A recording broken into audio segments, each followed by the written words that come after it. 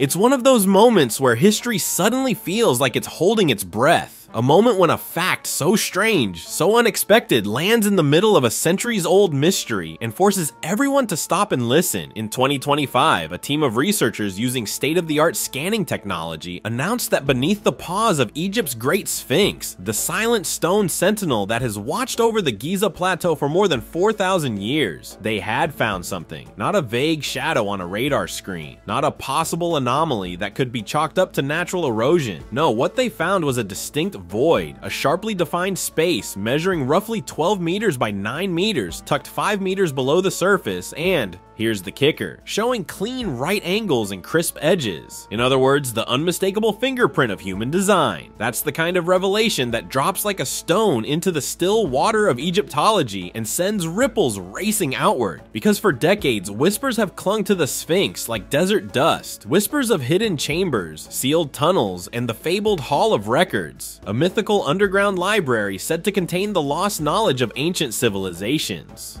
Most scholars would politely roll their eyes at such talk, dismissing it as romantic pseudo-history. But now? Now there was data, seismic tomography, a method that lets researchers see through stone by measuring how vibrations travel, had lit up a section of earth beneath the monument like a ghost appearing on an x-ray. And it was no random cavity. This thing was deliberate. Someone thousands of years ago carved it into the bedrock. Dr. Manu Seyfzadeh, the Egyptologist leading the investigation, couldn't hide his excitement when he discussed the results. Speaking to a small but captivated audience online, he described how his team had scanned around the Sphinx, tapping and listening for hidden spaces. Most areas were unremarkable, but then came the signal the one that pointed to this rectangular void. Seyfzadeh went further, connecting the dots to an old controversial theory that this could be the best candidate yet for the Hall of Records. It was a name pulled straight out of legend, first popularized by Edgar Cayce, an American clairvoyant in the early 20th century. Cayce claimed, without any physical evidence, that an archive of ancient wisdom was buried beneath the Sphinx, placed there by a lost civilization, perhaps even survivors of Atlantis. It was the kind of claim main mainstream archaeology typically avoids like a live cobra, but the new scan, with its precise measurements and geometry, meant the theory suddenly had a very real shape under the sand. Of course, nothing in Egypt is ever that simple. Seyfzadeh tempered his excitement with a dose of realism. If the chamber had ever contained anything extraordinary, it was likely long gone. Based on the site's groundwater levels, the space would have been flooded to a depth of about 5 meters. Water is not kind to papyrus or ancient artifacts, and Seyfzadeh Suspected something even more frustrating, that the chamber had already been breached in antiquity, and whatever treasures or records it once held had been carried off to Hermopolis, a city in Middle Egypt. In other words, if the Hall of Records ever existed here, we may be staring at its empty vault. Still, empty in this context doesn't mean unimportant. For one, even the act of confirming such a space exists under the Sphinx, challenges decades of official denials. Egypt's former Minister of Antiquities, Dr. Zahi Hawass, has spent years shooting down claims of hidden chambers under the monument. In his view, there is no lost library, no buried city, no Atlantis vault hidden in the bedrock. And yet, Hawass himself has acknowledged the existence of three distinct tunnels associated with the Sphinx, one drilled into its back in 1937 by a treasure-seeking French engineer, another near its north flank that was once believed to hold treasures before it flooded, and a third found behind the so-called Dream Stele between its paws. The official official explanation is that these were either maintenance shafts, exploratory digs, or natural fissures later squared off by human hands. But for many, the coincidence of man-made voids and persistent legends is just too tantalizing to ignore. To appreciate why this new scan is such a big deal, you have to understand the Sphinx's long, complicated relationship with hidden spaces. Over the years, explorers and archaeologists have documented a whole catalog of cavities, from drilled shafts to mysterious pits. Some are obvious, obvious, like Perring's Hole, bored into the Sphinx's back in 1837 by British engineer John Perring under the orders of Howard Vyse. He went down 27 feet before getting stuck, abandoned the effort, and left it filled in until it was reopened in the 1970s. Others are more enigmatic,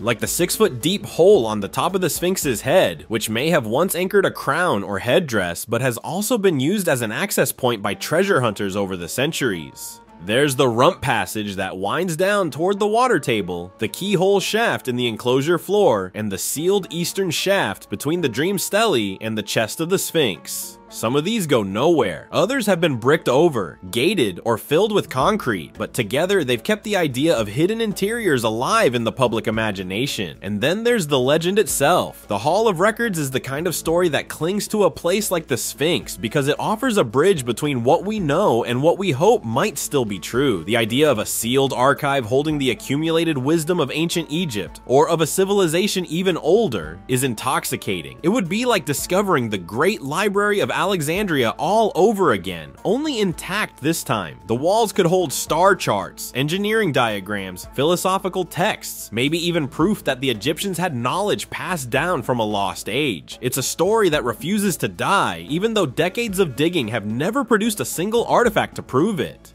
The frustrating part for researchers is that investigating these voids isn't as simple as just grabbing a shovel.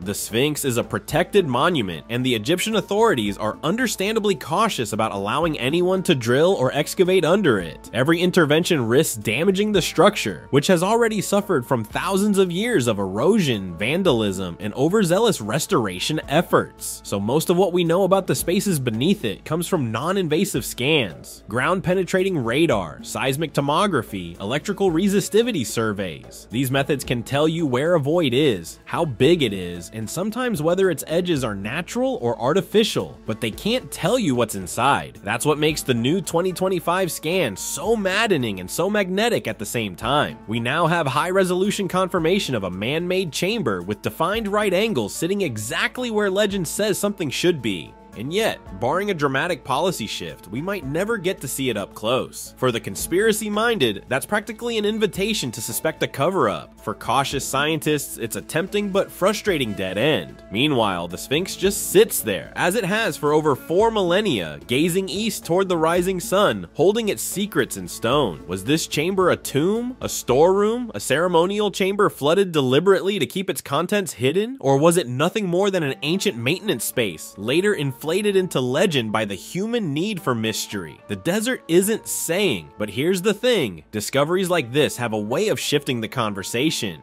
10 years ago, if you'd brought up the Hall of Records to a mainstream Egyptologist, you'd probably get a polite but firm lecture about pseudoscience. Now, with modern instruments lighting up hidden rooms exactly where the myths say they should be, the lines between fringe theory and possible history are starting to blur. And if one void exists, who's to say there aren't more? The Giza Plateau is a vast archaeological landscape, much of it still buried under sand and modern construction.